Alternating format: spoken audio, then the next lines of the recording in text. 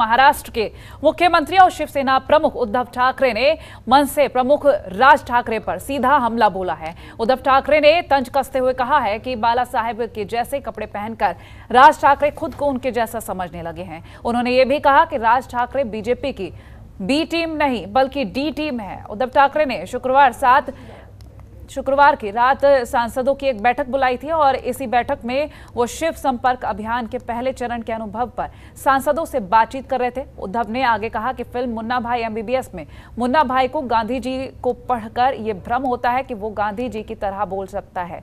इसी तरह राज ठाकरे को भी ये लगने लगा है कि वो बाला साहब ठाकरे की तरह दिख रहे हैं।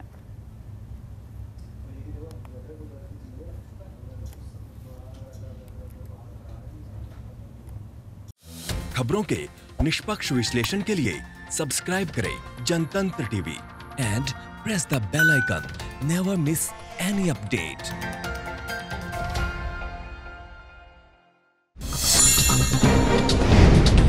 download कीजिए जनतंत्र टीवी ऐप को, जो कि अवेलेबल है गूगल प्ले और ऐप स्टोर पर। अधिक जानकारी के लिए अभी डाउनलोड करें।